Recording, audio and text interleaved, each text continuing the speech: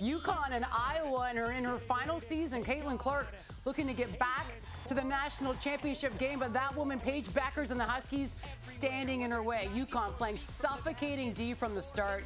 Check out Nika Mühl picking up Clark from full court. Clark had just two first quarter points, her fewest in any quarter of a tournament in her career. Second quarter now, I was down seven. Clark has her pass stolen by the Canadian Aaliyah Edwards and an easy lay-in at the other end. Clark had just six points in the first half. She was 0 for 6 from three. UConn up six at the break. To the second half we go. Iowa down five. Clark maneuvers through the D and then uses a screen to drill the three ball. That's her first deep ball of the game. Though, within two later in the quarter. Clark works herself free. And she bangs home the triple, plus the foul. Four point play for Clark. She was in some pain after that one, but she would stay in the game. This one all tied up as we go to the fourth quarter. Here we go, fourth quarter. Iowa now up by two. Clark showing off the handles. Steps back for three. The Hawkeyes trailed by as many as 12. They are now up five. Next Iowa possession. Clark creates some space.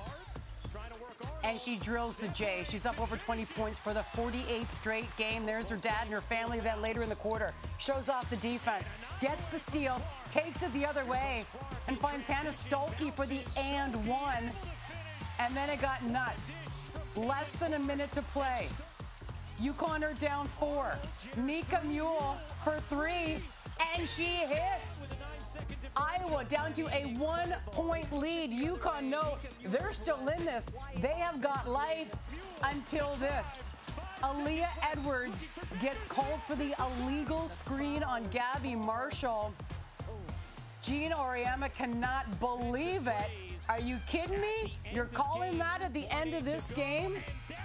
And that would be the difference.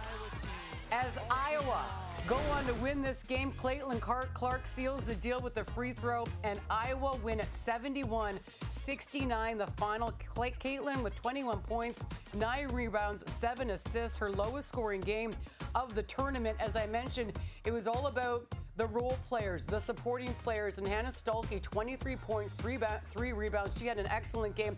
Aaliyah Edwards.